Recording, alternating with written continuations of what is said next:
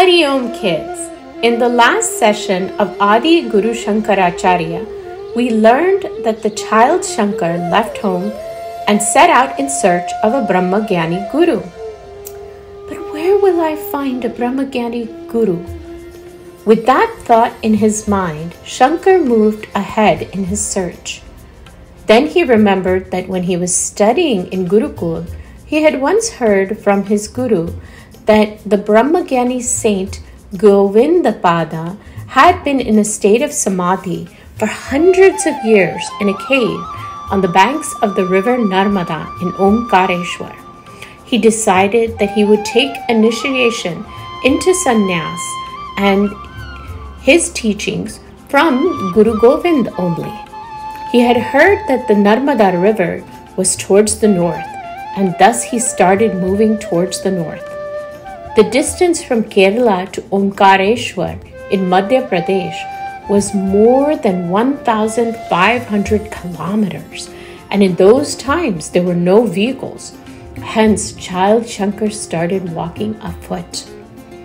Whenever he passed by a village, people were struck with wonder to see that a small eight year old boy has become a sannyasi. He would take bhiksha or alms from the village in the afternoon and rest under the shade of a tree and sleep in some temple at night. Even a terrifying forest full of dangerous animals, he remained fearless and could even sleep fearlessly. When the paths were full of thorns, the highest mountains and the deepest caves and valleys could not stop Shankar's path. Courageous and fearless, the boy moved towards his goal, overcoming all obstacles. If he met anyone on the way, the Bal Sannyasi would ask, Which direction is the Narmada in? Do you know Saint Govindapadji? Two months passed for Shankar in this way.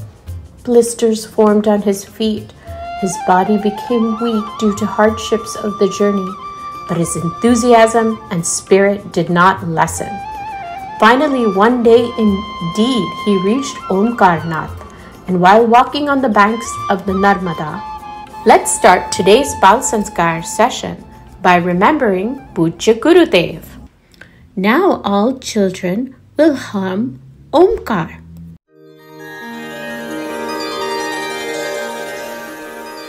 Hari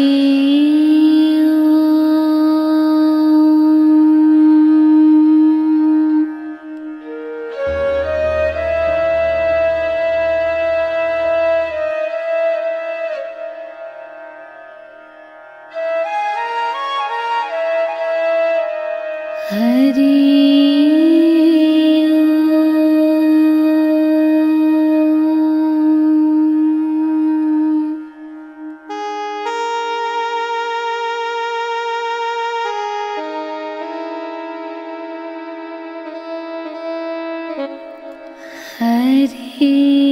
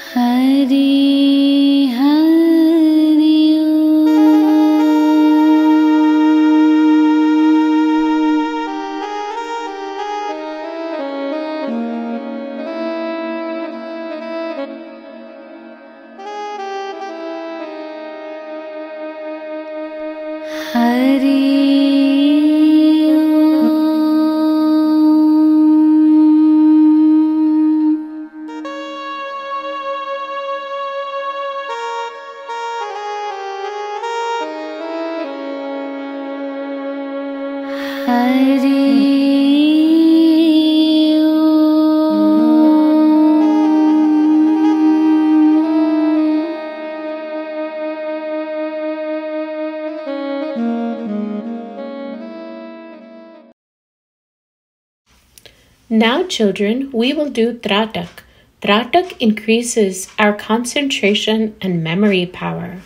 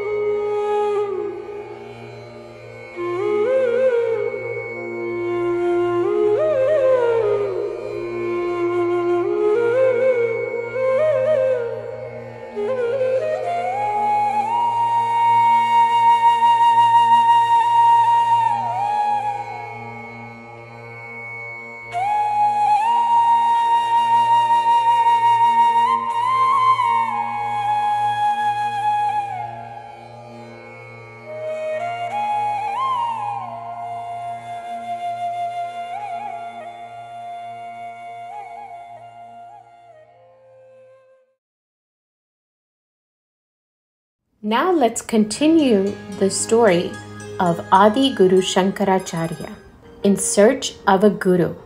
Child Shankar walked for two months and reached the Narmada Omkarnath from Kerala. Shankar asked the devotee there, Do you know any great yogi who meditates here? The devotee said, Yes, for many years a great yogi is meditating in a cave on a mountain far away. Upon tendering a thanks to him, Child Shankar enthusiastically walked towards the mountain. He saw so many old sannyasis sitting near a cave on the mountain. Shankar bowed down and greeted all the sannyasis and asked politely, Greetings, Mahatman.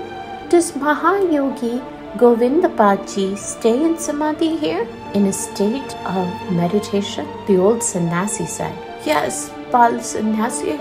Guru Govind is in Samadhi since a hundred years. But who are you and where did you come? And why have you put on a sannyasi attire at such a young age? Shankar said, O Mahatman or great man, my name is Shankar. I have come from Kerala. I want to take Diksha or initiation from Guru Govindapadji. The old sannyasi said, What did you say? From Kerala? From such a faraway place, and that too alone at such a young age? Shankar said, Yes, Mahatman. All the old sannyasi started looking at each other in surprise. Then one old sannyasi asked, Do you have any knowledge of the scriptures? Or are you just formally put on the sannyasi attire? Shankar said, Mahatman, the religious scriptures are on the tip of my tongue, but what should I showcase my abilities in front of such scholars and old sannyasis. You can ask whatever you want about the scriptures. One by one, all of them asked him many questions, many mysterious questions about the Ramayana, Mahabharata, and Shankar logically answered them all. All of the old sannyasis were surprised to see such wisdom in just a child of eight years and they were very impressed with child Shankar.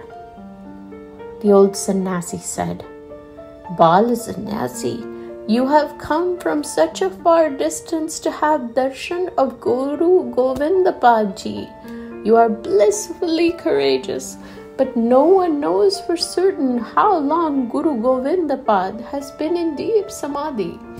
We have been sitting here for many years, growing old, hoping for him to come out of Samadhi.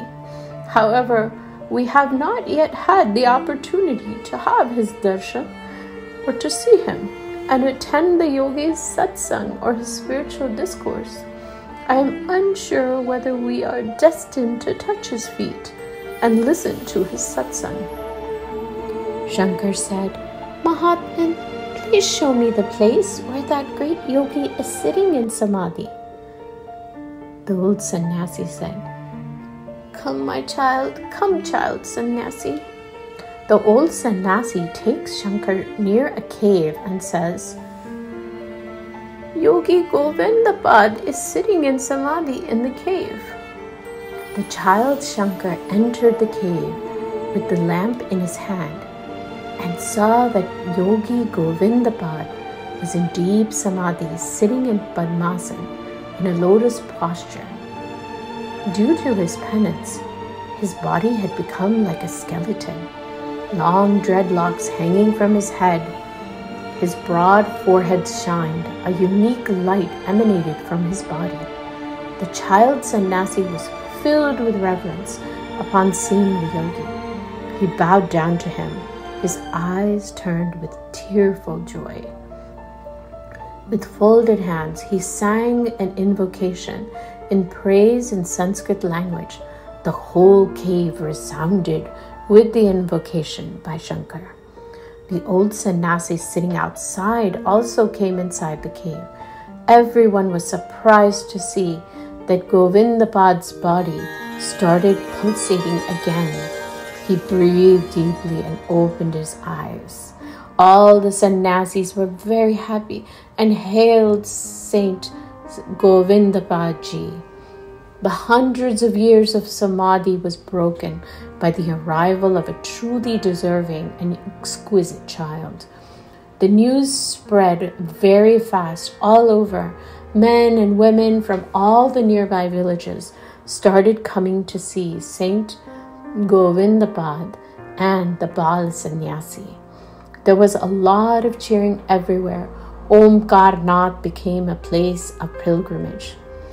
We will continue the story in the next session. Jai to the devotee and Jai to Bhagwan. Quiz Competition. Now's the turn of a knowledge and science competition. You will be asked a question and there will be four options to choose from. You will need to give the right answer in 10 seconds. The question is Where did Acharya Shankaracharya ji establish the Govardhan Mutt Peeth? A. Kashi B. Puri C. Mathura D. Ayodhya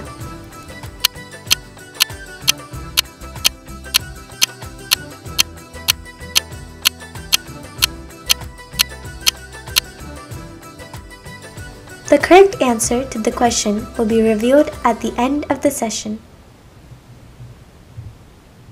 The glory of Indian culture.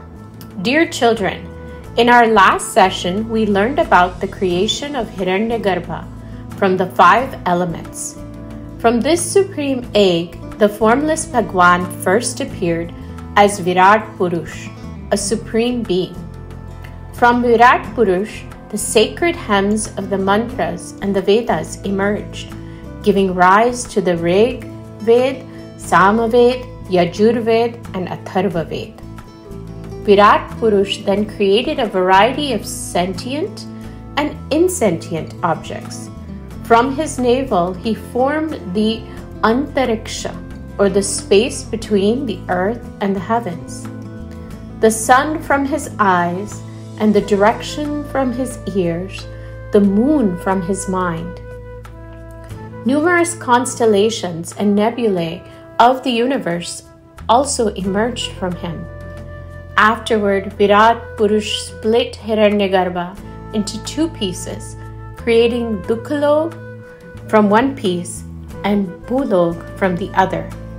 Virat Purush created Dukyalok as Chaturbhuj, four handed Narayan Bhagwan Vishnu, and reserved Bhulok for humans and other creatures.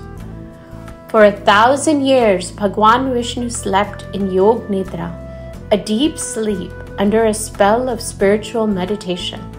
During this time, a lotus appeared from his navel of Bhagwan Narayan, and Bhagwan Brahma emerged from this lotus flower.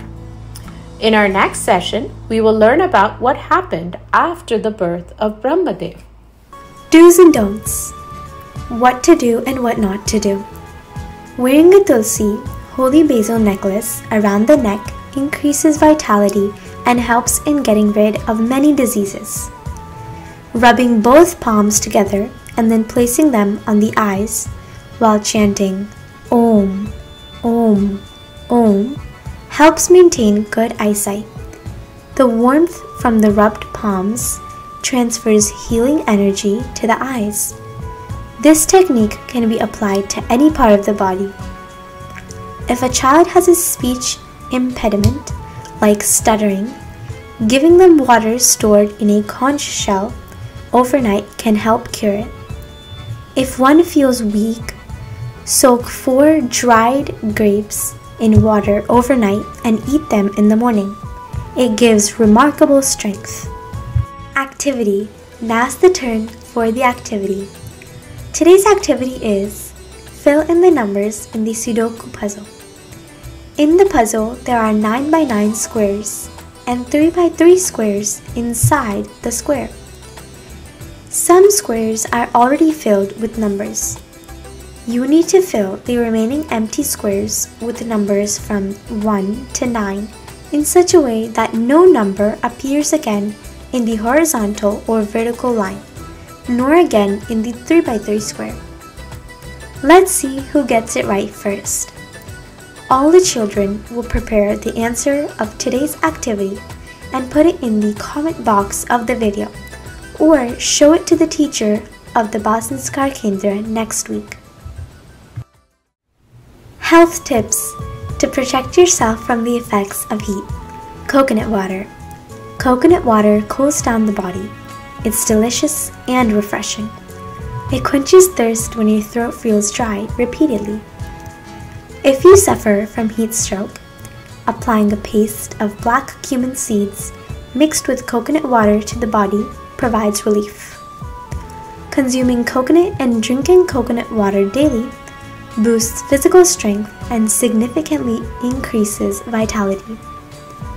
For a burning sensation during urination, mix grounded coriander leaves and sugar candy, mishri, in coconut water. This drink helps to relieve the discomfort. Caution Do not eat coconut on the eighth day, Ashtami, of the lunar month. Questionnaire Get ready for the questionnaire. Where did child Shankar set out in search for a Brahmagyani guru? How much time did it take for child Shankar to find a guru? Why was the old sannyasi sitting on the mountain? What broke Saint Govind Pad's meditation of hundreds of years what do we learn from today's story? What appeared first from the cosmic form of Virat Purush? How were space, sun, and directions created? What was made from the two pieces of Hiranyagarbha? How did Bhagwan Vishnu appear? How did Bhagwan Brahma appear? By wearing which mala is life force increased? What should be done to remove children's lisp and stammering? What should be done to remove weakness in children? What are the benefits of drinking coconut water? Narayan, Narayan, Narayan, Narayan. With this, today's Bal Sanskar Kendra concludes. We will meet again next week with a new knowledge enhancing topic. Until then, Hari Om! The correct answer to the question is B. Acharya Shankaracharya established the Jyotirmat Peeth in India's Odisha region in Puri.